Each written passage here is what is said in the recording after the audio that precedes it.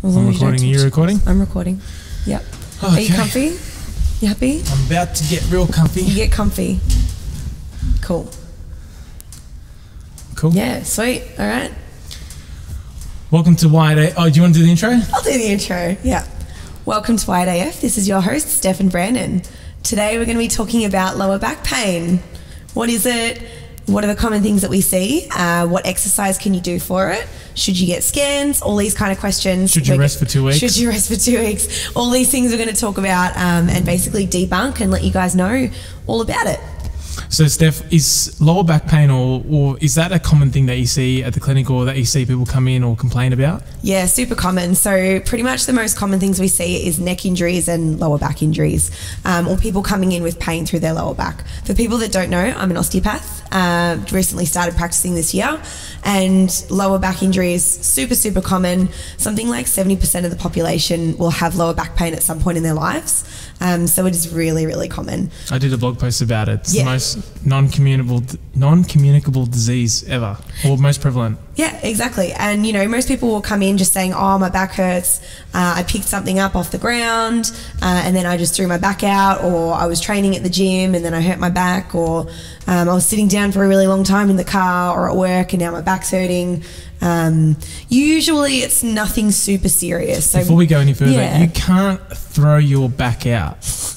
no, it's right? not like it's not like the the joints are actually like completely out of they're not like out of place and in different spots. They might not be moving correctly and they might be slightly misaligned, but not to the point that like you've got one vertebrae over there and one vertebrae over the other side. Doesn't happen. No, that's not that's not like a thing. Like yes, you can have misalignment and they're not exactly um, in perfect harmony with each other. Uh, but yeah, you're not gonna you know break something just from lifting something up off the floor. And sometimes it's also a matter of the joints not working together. So, like the connection between the hip and the knee, or the connection between the foot and the hip, uh, and stuff like that. And that's usually more of the problem. And the back's actually, in a lot of people, quite strong. And that's why it gets tired and sore. And we often find that the back in some people, you know, that it actually is the is the symptom. And a lot of people are kind of getting better at understanding. Well, you know, my back's sore, but it's probably not my back. It's probably something else.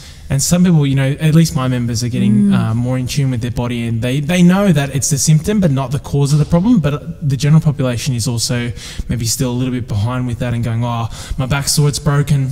Yeah, exactly. What you said about the symptom is exactly, exactly a really good, important, really good, really important point.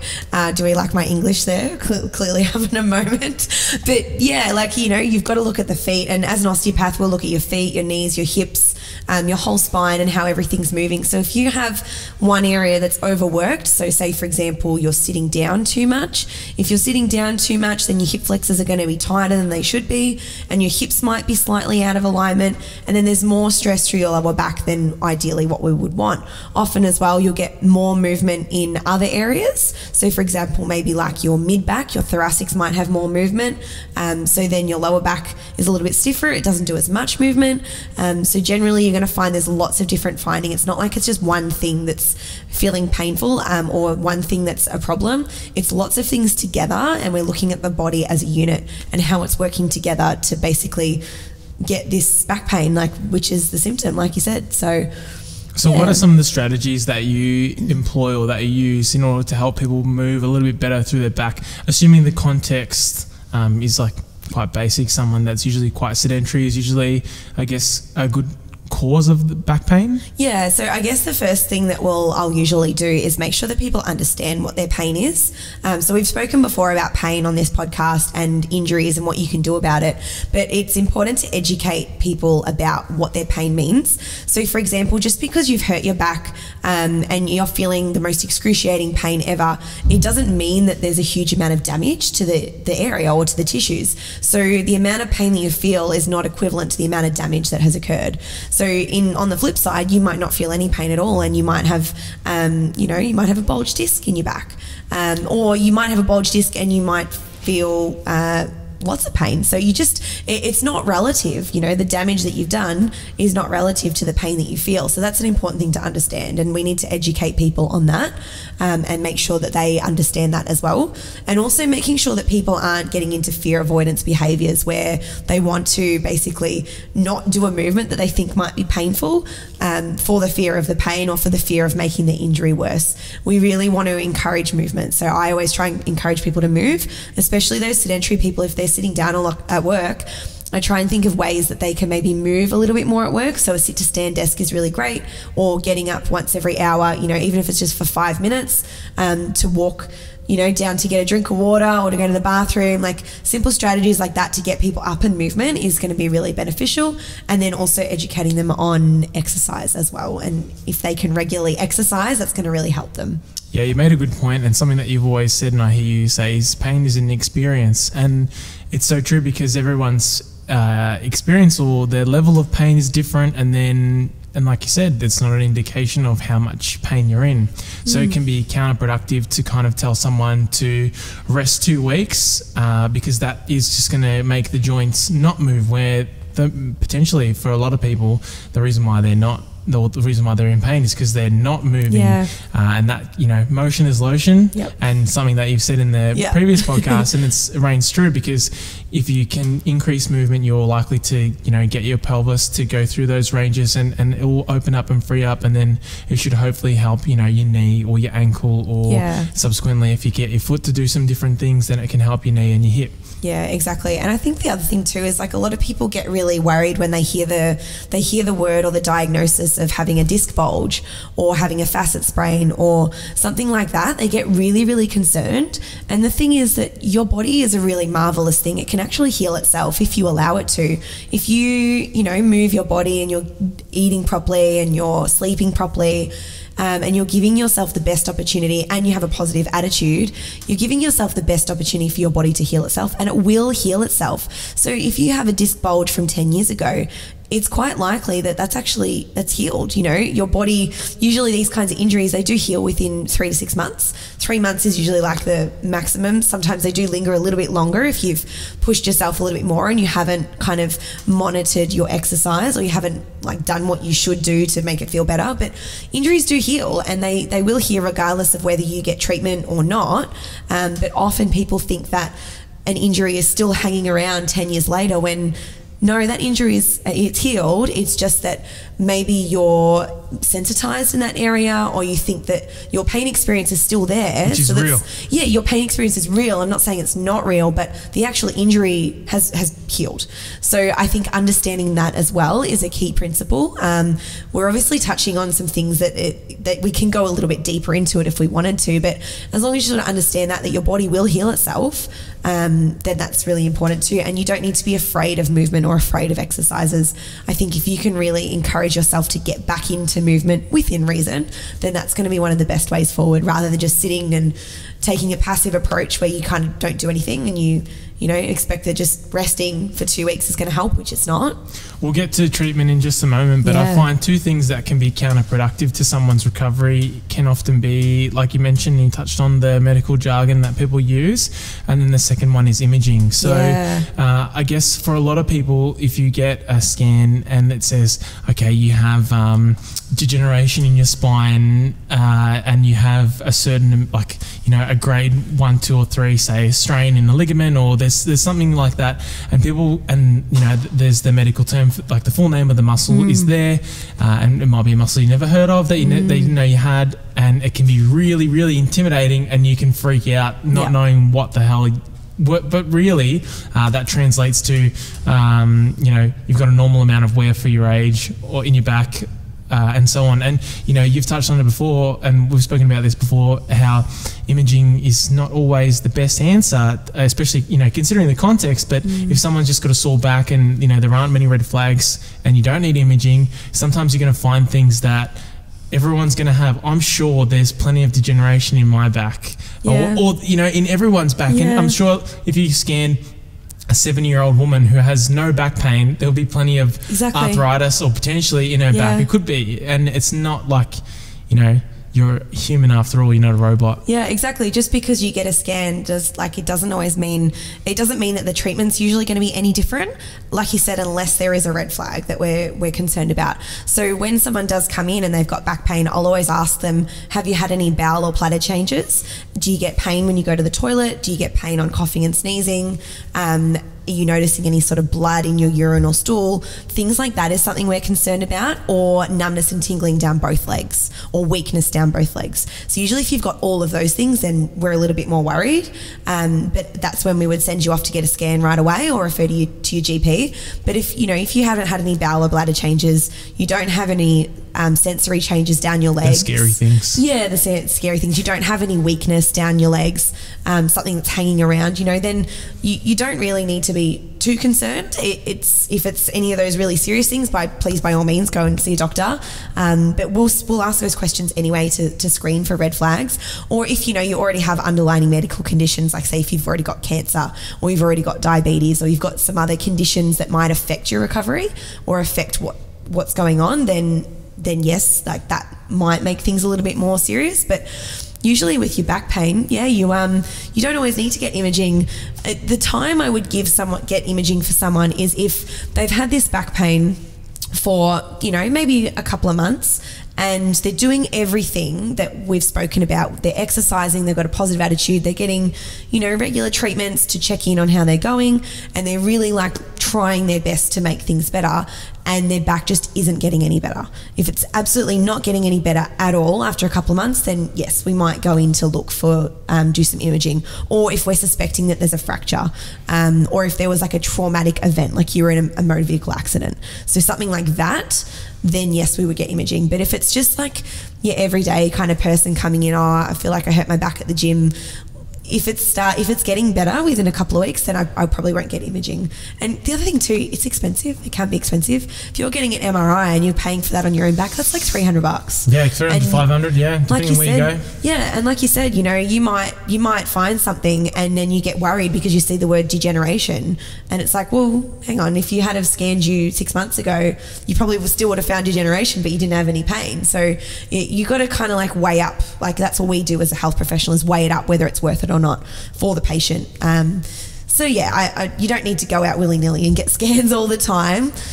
Yeah, Awesome, and so that's something that you do really well is always keep diagnosing. So Yeah. you if you know you implement something, you want to know if that uh, what you've implemented works, Yeah. and to see if you've given someone an exercise or you've recommended they do something to see if when you see them next time if it's working. exactly. Yeah. So now we'll move on to some treatment and some things that are really, really good for, I guess, uh, back pain and stuff like that. So one thing that I think was really good in uh, lockdown for our members was Pilates or Pilates style movements and how, you know, with no equipment, you can do quite a lot and you can regress them quite a lot. So this is something that's really important with rehab and getting someone back to moving is experiencing the least amount of pain in the movement as possible.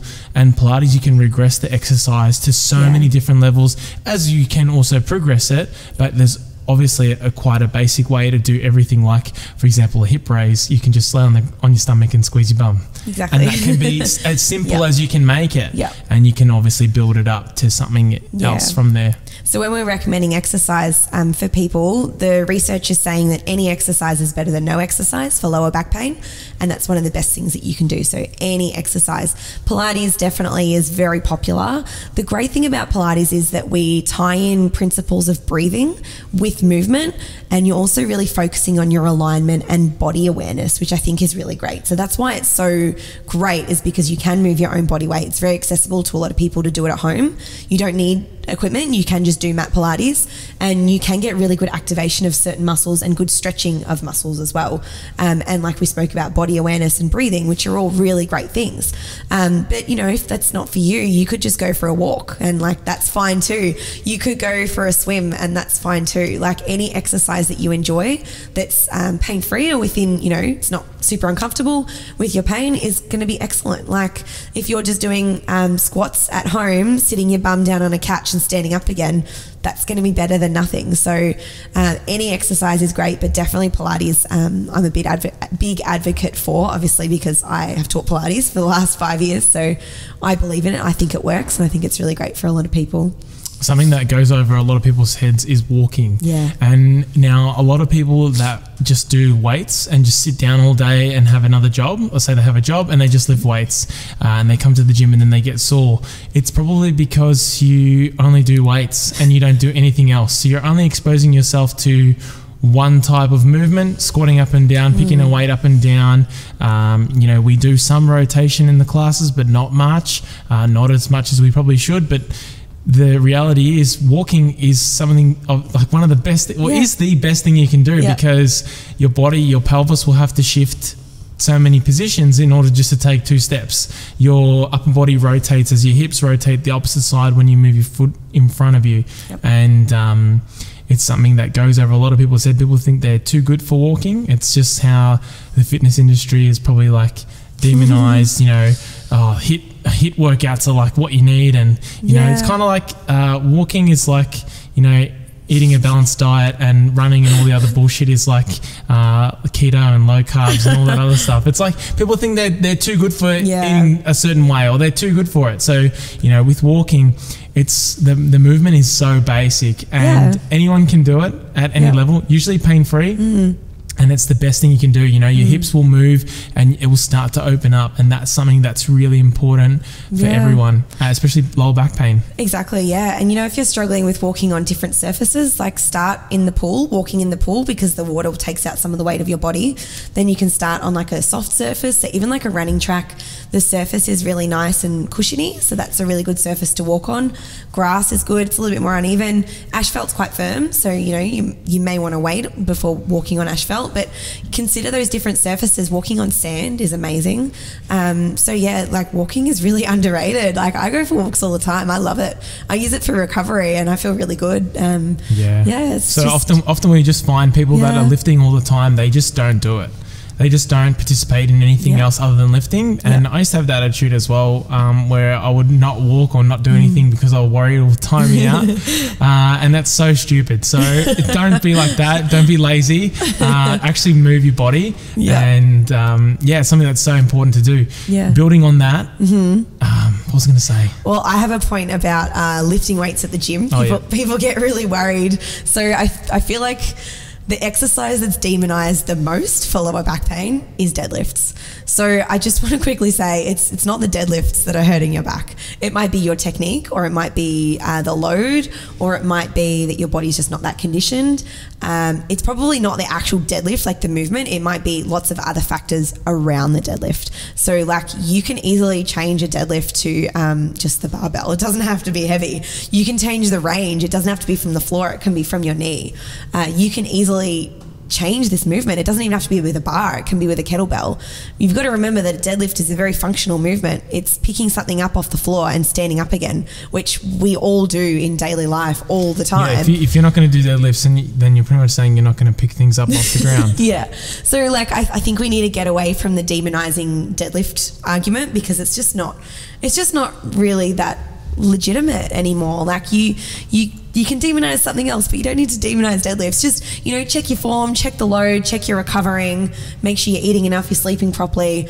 Um, very often, like, people think that it was a deadlift that did it, but it could be, it could have been so many other things around that deadlift. Like, maybe you sit at work all day um, and you never stretch and you don't sleep you know, you only sleep five hours a night. Well, it was probably all those things that were contributing to it as well.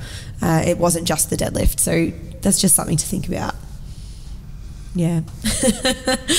What was I going to say? I don't know, Brandon. What were you going to say? Another really simple thing is footwear. So I find that people's shoes and stuff like that. So Steph, you had a really good experience with Yeah. Stephen, the podiatrist. Oh, awesome. Yeah. So I saw this podiatrist. Um, when was it? It was probably two months ago now. I was getting really sore feet and like I've had knee and back issues as well in the past. And I saw this podiatrist, Stephen, he works in Eltham, um, What's the clinic called? Uh, Eltham Physiotherapy So Centre. shout out to Eltham. Physiotherapy Centre. Yeah. And Stephen, what's his, do you know Stephen foot- McMurray. Oh, yeah, done. he's a podiatrist. He's really great, and uh, he basically told me to get better footwear. He said my footwear was, you know, it sucks, and I was Abysmal. like, yep, it, it, it is. It's got no support. So I went to the athlete's foot as he recommended, and they recommended footwear. They tested my feet, and my walking, and where I put my pressure, and uh, what my arches are like, and got these new shoes and that was it. Like I went back to see What shoes did you get? I got Asics. They were Asics Nimbus something. They're black with uh, rose gold details. They look really good. Something that I find But people. yeah, they work so good. Yeah. Another thing that people skimp out on is footwear, or Yeah. maybe they don't skimp out on it, but it looks okay. Asics don't look the best. I'm looking at mine now. I'm like, oh no, geez, they look. These look like a dad shoe. they do. I but them. but that's okay. I don't really care because they're really good. Yeah. And I know as soon as I wear Nikes, the Nike ones look better, but they're so bad. Um, maybe the kids that make the Asics are a little bit older, so they it's, they look. to cut that video. out. Sorry.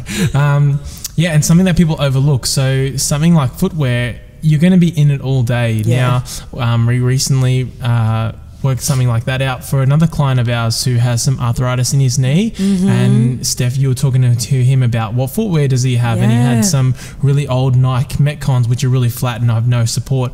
Great for if you're going to be doing some kind of lifting, but even then, I think barefoot would be better anyway. Uh, so then we recommended he get some different shoes, and I think he got the same thing. I think he went to Athlete's Foot and got some Asics Yeah. and no knee pain. Now Yeah. it could be a lot to do with um, the shoe because of the position that his feet are, in, they Yep. are in, uh, and it could just be you know maybe he, he was he placing some a lot more pressure. Ex- he has some rehab exercises as well. Yeah. Um. So you know, it can be so many things, but yeah, Combination of all that. really important. So consider that. Check out Athlete's Foot if you want to go in and get your feet tested because they're really great there. I can highly recommend them.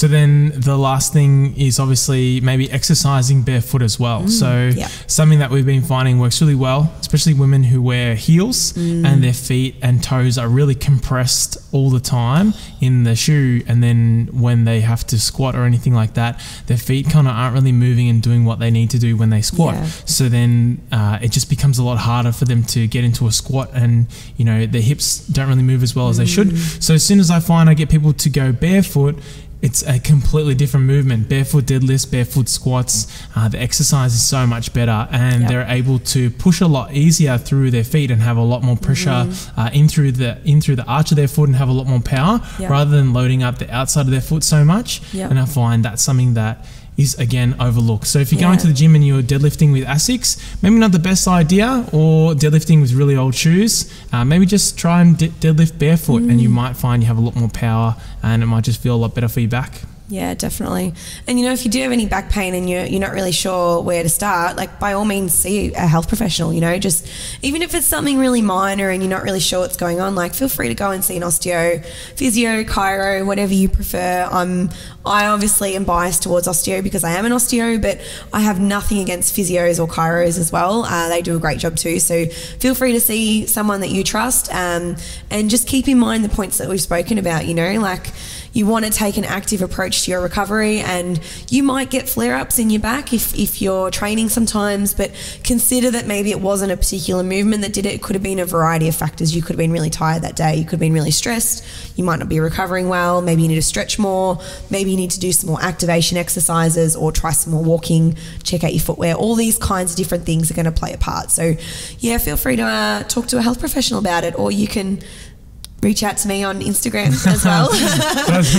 That's- fine too. I was if you have waiting for the shameless plug. The shameless plug. Yeah, you can uh, come and come and see me. I'm working out of Gateway Osteo. Uh, if anyone does want to come and get a treatment from me, so I'm there four times a week. treatment and rehab plans as well. do all that. So something that I'm really big on, and just to finish, is just moving through different um, range of motion, or Yes. just um, doing some rotation or different planes of motion. If you believe in the triplanar model, which is the three planes of movement, but you know everything is pretty much rotation anyway, no matter how you look at it, because joints have to rotate anyway, uh, no matter what plane you go through. But uh, not to get too far away from what I was trying to say, was that maybe if you're deadlifting and you're only picking the weights up off the floor, maybe your back sore because you're only experiencing one plane. Maybe you should do some wood chops. Maybe you should resist rotation by um, doing uh, a banded um, press Yep. with the band. Or there's plenty of exercises that we can do, um, but rotation is something that is definitely uh, underappreciated. You know, just throwing the wall ball um, to the wall. Yesterday, I finished my session and I was just kind of throwing the wall ball to the wall uh, and catching it. And I was doing, and I was just moving my body through a position where I normally would kind of like be really stiff and guard it. Where did you get these ideas from, Uh, just been just been trying to do like my dad's got I'm looking at it now uh, he's got this sledge uh, Yeah. Sledgehammer. Oh yeah. The black one, He the Dom twisting, Yeah, yeah. and and honestly, Yeah. you know, having an, a unilateral weight, having a weight on one side, doing a you know a suitcase deadlift where you only hold on one side. We do a lot of unilateral work where we only have one weight in one hand. We do like a single arm kettlebell thruster, um, or a single a single leg deadlift and stuff like that, and that can be really good. Mm. Um, just for loading your body up in different positions and, and getting your body to go through different ranges of motion rather than always doing um, banded hip thrusts Yeah. uh, and stuff like that. Which Yeah. yeah. Anyway, that's So they have a place, but yeah, no, you're 100% right. You know, like we've I've been working with you on your rehab for the last few years, and Olympic weightlifting is a very linear sport. So, uh, you know, you literally move up and down, but you're resisting rotation when you're trying to catch the weight and balance a certain way. So it would make sense that you'd want to move your body into rotation so it knows what to do when it experiences that. So that's why we sort of brought in wood choppers in your program. But yeah, exactly. You know, even any joint you want to move in lots of different ways. People get worried about internal rotation through their hips and knees.